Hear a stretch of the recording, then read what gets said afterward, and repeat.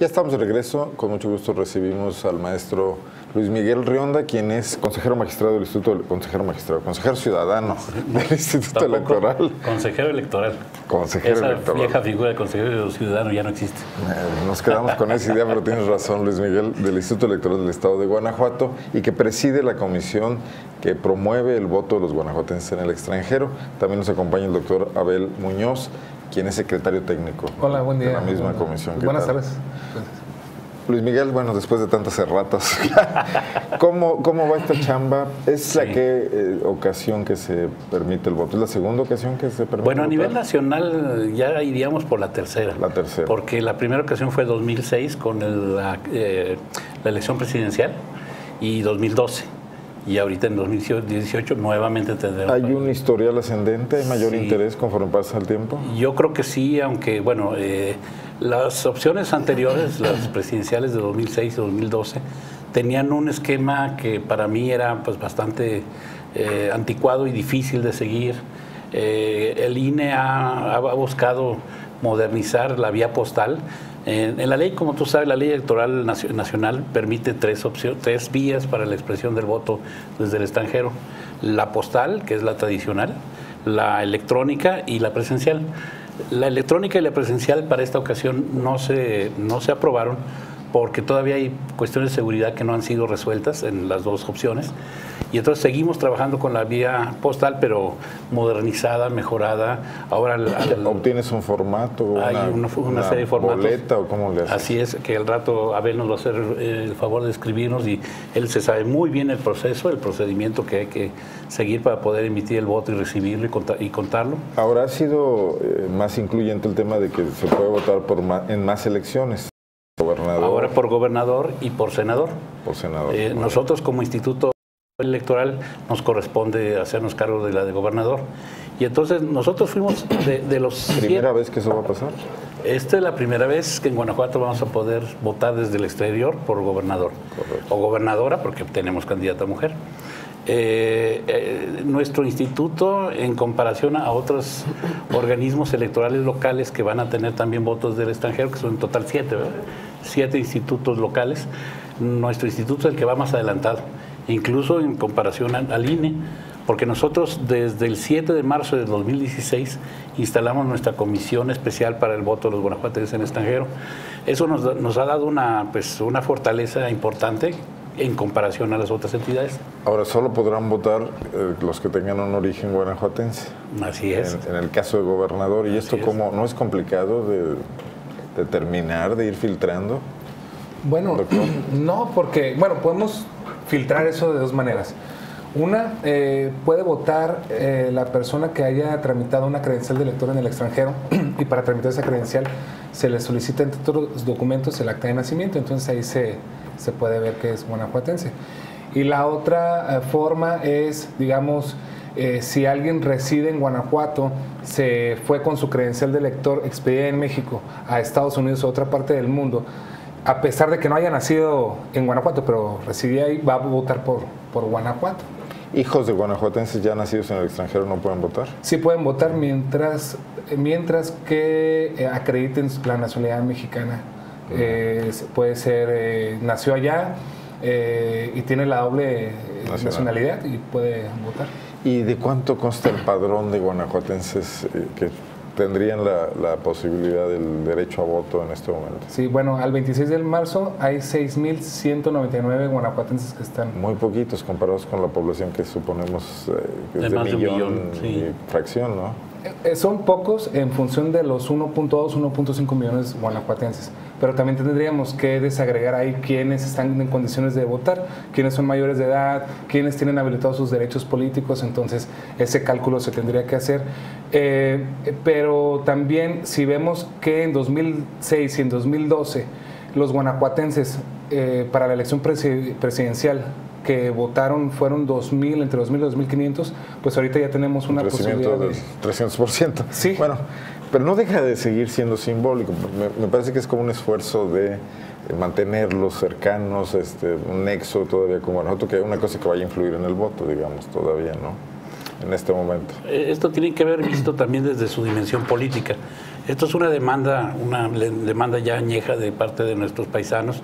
Eh, no podemos decir tampoco que toda la comunidad de los paisanos esté demandando este derecho, pero sí una, una, parte muy consciente, liderazgos y demás, que es de los 90, tú lo recordarás, desde que Raúl Rosa andaba ahí promoviendo el, el, voto extraterritorial, hay este interés muy fuerte por parte de, de, de, un sector importante de la comunidad mexicana en el exterior de poder emitir su voto.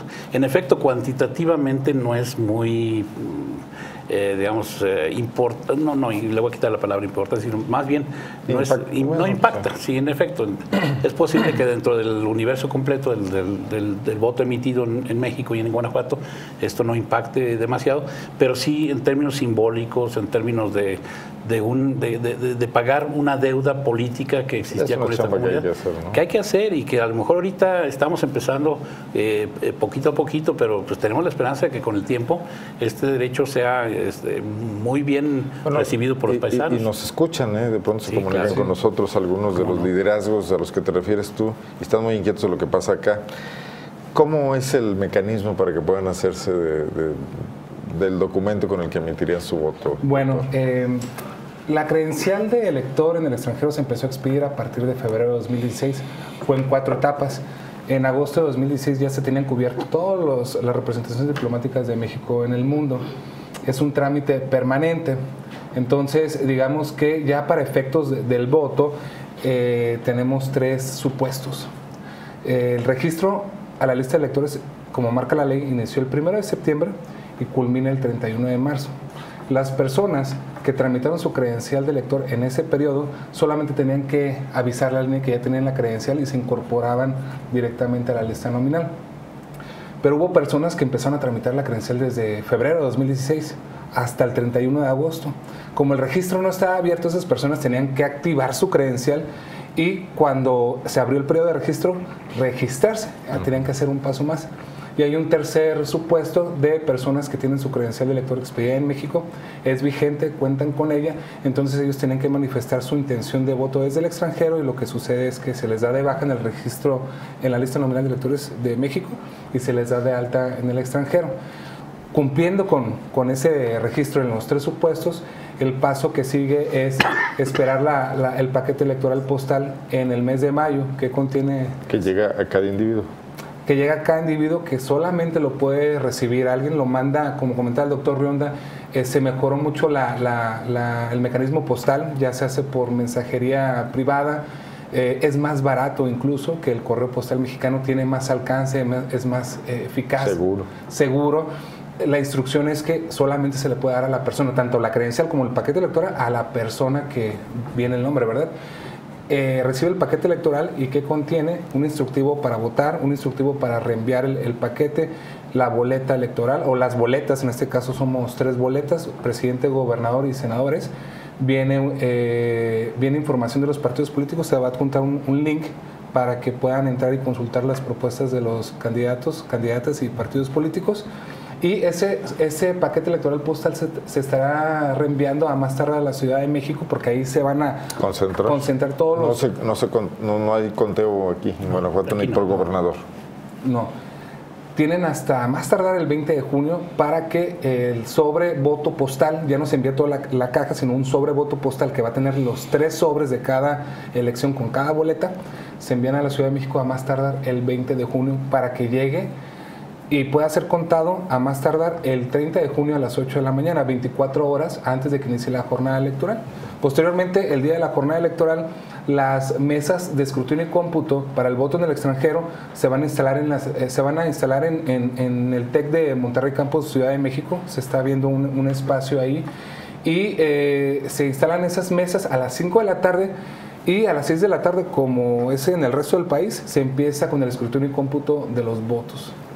No nos vamos a enterar antes de quién ganó en el extranjero, que luego suele ser noticia. ¿no? Bueno, pues muy, muy, muy bien. Entonces estamos listos para la primera ocasión en que será votado un gobernador y un senador en Guanajuato. La presidencia de la República ya es la tercera ocasión, este julio de 2018. Complicaciones, ¿qué es que ha sido lo más difícil? Bueno, ha sido difícil sobre la todo difusión de la difusión, sí. Eh, comunicarse con nuestros paisanos. Hemos tenido eh, pues que implementar una serie de campañas muy intensas, campañas por los medios tradicionales, pero sobre todo mediante las redes eh, sociales. Y hemos tenido un éxito, pues que yo podría decir que interesante, porque muchos de nuestros paisanos nos han buscado. Ahí la vía ideal pues, es Internet, tiene más acceso que en Guanajuato y en México. Claro, tenemos incluso una, una página en, en Face en Facebook, donde hay siete mil y tantos seguidores, ¿verdad? 7.700 al día de hoy. Y, entre ellos se comunican y bueno, afortunadamente eso ha funcionado muy bien. Bueno, además hay dos candidatos migrantes, algún partido político los postuló en una lista plurinominal, o sea eso, eso, si se generaliza le puede dar más interés, ¿no? Puede darle más interés. Y bueno, pues eh, eh, la participación eh, la tenemos que garantizar de todas las maneras posibles que estén a, a nuestro alcance. Es por eso que ahora estamos emprendiendo esta nueva campaña, ahora ya no a la credencialización como fue antes, sino a, convocar a que quienes reciban su sobre postal realmente lo, lo, empleen y este, lo envíen y participen en, la ¿Estos paquetes postales los envía el IE o los envía el INE? El INE, nosotros digamos le vamos a mandar al, INE la, la, boleta para gobernador y el sobre postal donde se tiene que depositar esa, sobre voto, donde se tiene que depositar esa boleta el INE arma el, paquete. Pero el voto le llega también al INE, no a ustedes. Le llega al INE. Y a ustedes les van a avisar de pronto por teléfono tantos votos. Ahí vamos a estar. Vamos a estar, ahí. En el conteo. Van llegando, nos van dando cortes, llegaron tantos eh, sobres eh, postales voto de Guanajuato y tenemos acceso a, las instalaciones en donde se están resguardando, que están vigiladas por el ejército mexicano. Y eh, una vez que se dé el escrutinio y cómputo de los votos, esos, esos sobres eh, bueno, esas boletas se nos van a entregar a nosotros para traerlas a Guanajuato y se computen con la elección del gobernador. Bueno, ¿qué, más agregar, Luis? Pues, que otros temas pues hay que ver a otras comisiones. Claro, hay que ver a otras comisiones. Estamos eh, pues ya en la, eh, pues este ciclón de, las elecciones, ya muy, muy metidos en... veíamos un, bueno, yo leía a mi colega periodista Enrique Gómez Orozco que hablaba y, lo sabemos por otras causas, que está habiendo problemas con la aceptación de los funcionarios, no los funcionarios, de los ciudadanos que resultan insaculados para, para ser funcionarios de casilla. Es un fenómeno nacional que realmente le preocupa al INE, nos preocupa a nosotros. Eh, hay un desánimo generalizado. Hay una crisis de las instituciones mexicanas, eso no lo podemos desconocer. ¿Diferente a, otros, eh, a otras elecciones? Eh, sí, diferente. Yo diría que en otras elecciones no nos iba tan mal, o sea, el, el, índice de aceptación era mayor.